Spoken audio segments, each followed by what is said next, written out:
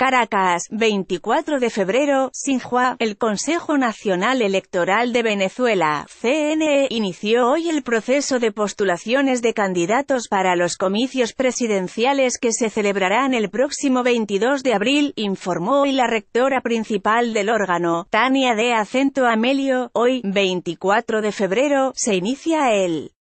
proceso de postulaciones de los candidatos a los en el mismo medio, la funcionaria venezolana publicó un documento que expone el cronograma sobre este proceso y recordó que la presentación de postulaciones será los días 26 y 27 de febrero, previéndose un lapso de dos días para la subsanación de recaudos, el 27 y 28 de febrero.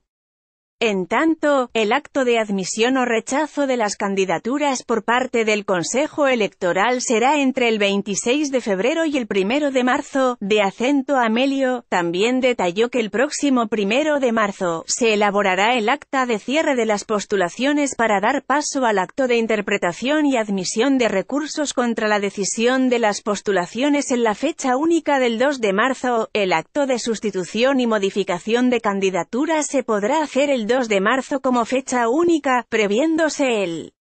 Acto de escogencia de posición de boletas para el 5 de marzo en la sede principal del CNE en Plaza Caracas, abundó. Por otra parte, de Amelio afirmó que, en cuanto a la jornada especial de registro electoral, RE en el extranjero, se mantendrá hasta mañana domingo, 25 de febrero, para estos comicios que fueron adelantados por la Asamblea Nacional Constituyente, ANC, el CNE estipuló que el período de campañas y ferias electorales se desarrollen entre los días 2 y 19 de abril próximo. En esta nota, Elecciones Venezuela Presidenciales 2018 Elecciones 2018